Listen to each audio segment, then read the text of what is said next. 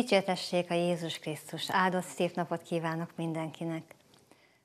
Isten mindig megerősít bennünket az ő szavával, és a szentjeivel is. Ma Szent Mónika ünnepe van.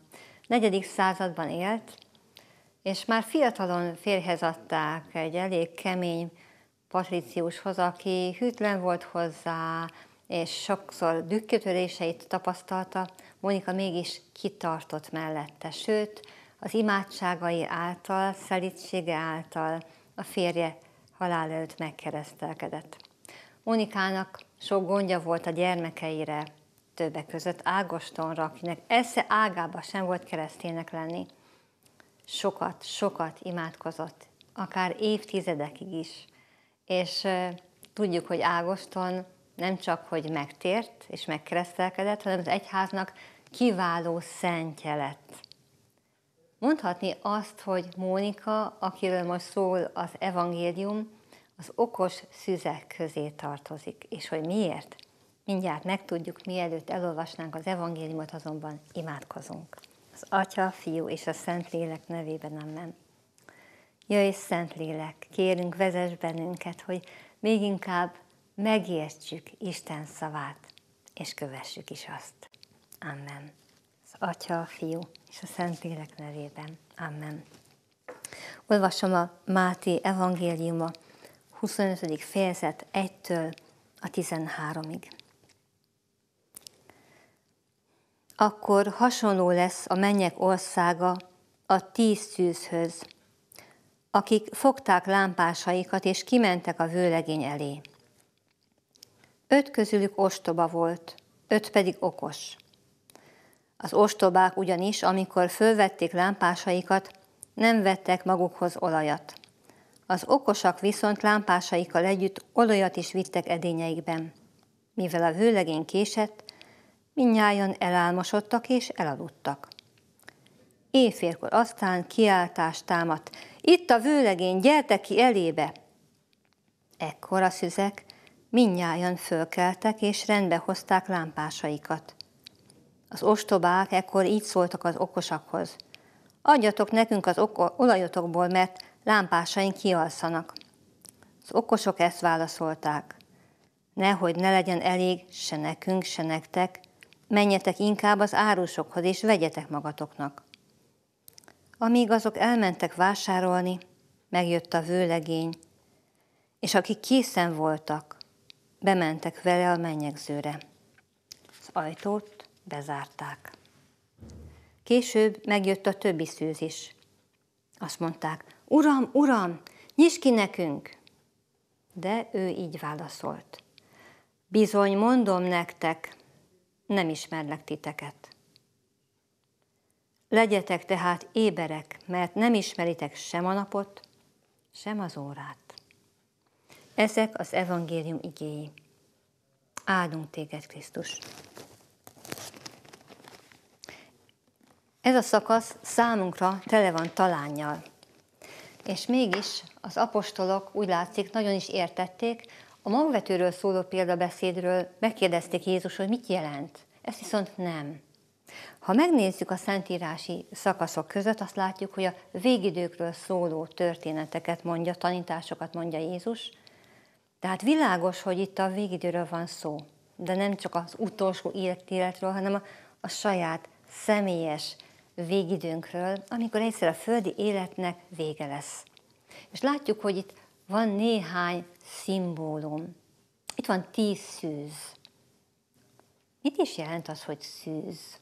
Már az Ószövetségben Izraelt így jellemezték az Istennek szentelt közösséget szűzhöz, vagy egy olyan személyre, mm, személynek a szimbóluma, aki majd Istennel, a meg, Istennel a messiási korban, há, mint egy frírre lép. És erre a mennyek zőre készül Izrael. Azt is látjuk, hogy a proféták sokszor azt mondták, hogy eltért az úttól Izrael, és bizony a bálvány imádásokat azt, azt pornográfiának tekintették és ezért becstelennek látták sokszor Izraelt, Mégis ez a kifejezés megmaradt az Ószövetségben. Izrael szűz leánya. És amikor az egyházról van szó, igazából ez a titok. Az egyház a szűz, aki készül Istennel a mennyegzőre. És erre készülni kell, mert igazából két fajta szűz van itt. Mindegyik szűz, mindegyik meg van hívva erre a mennyegzőre. De vannak okosak, és vannak balgák. És az a kérdés, hogy miért okosak a szüzek? Mi az ő okosságuk? A balgák azt látjuk, hogy nem készülnek.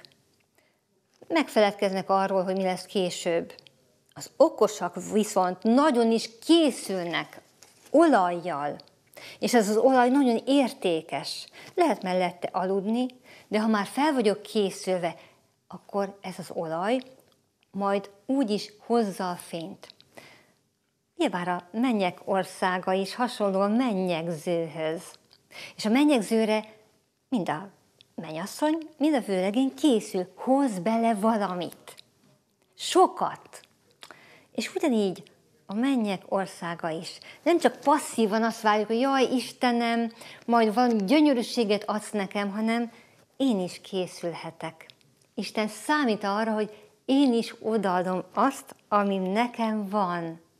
A jóságomat, az imádságomat, a figyelmességemet, a szelítségemet, a kedvességemet, mindazt, amit el tudok vinni.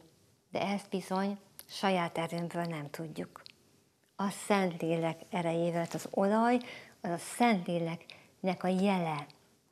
És hogyha a lélek bennem munkálkodik, azt tudom átvinni a mennyek országára.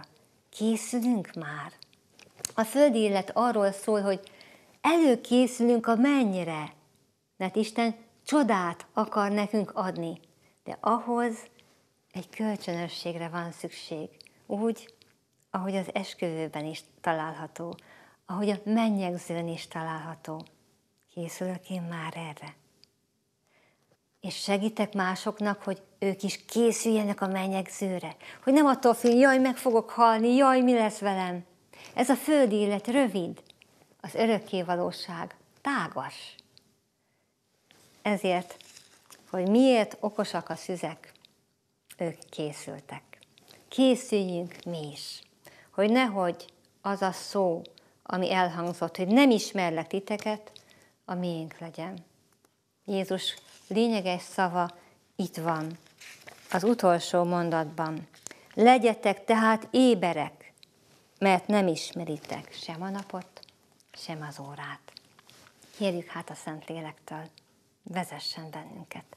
Az Atya, Fiú és a Szentlélek nevében, amen. Jöjj, Szentlélek, mert gyengék vagyunk, és elismerjük, hogy sokszor oktalanok. Segíts, hogy okosakká váljunk, és készüljünk jósággal, hűséggel, hittel és szeretettel a mennyegzőre. Amen.